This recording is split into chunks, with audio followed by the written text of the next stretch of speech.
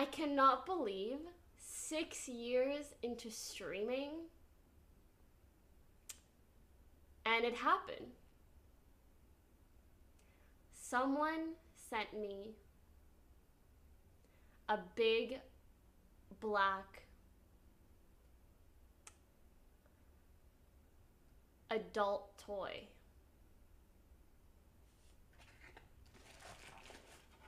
With lube.